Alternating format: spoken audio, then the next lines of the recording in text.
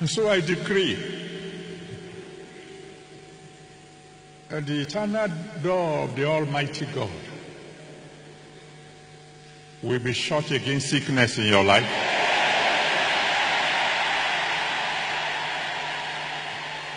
It will be shut against poverty. It will be shut against barrenness. It will be shut against fruitless efforts. It will be shut against sorrow. It will be shut against the oppression of the devil. And today, for you, and for every member of your family, the everlasting door of joy will open.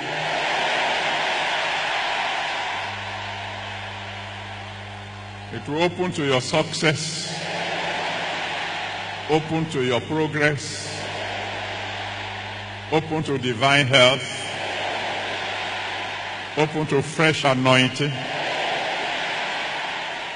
open to divine power, open to a closer walk with God, so that you'll be able to serve God all the way of your life. So shall it be. In Jesus' mighty name we have prayed. Amen. Let somebody shout a big hallelujah.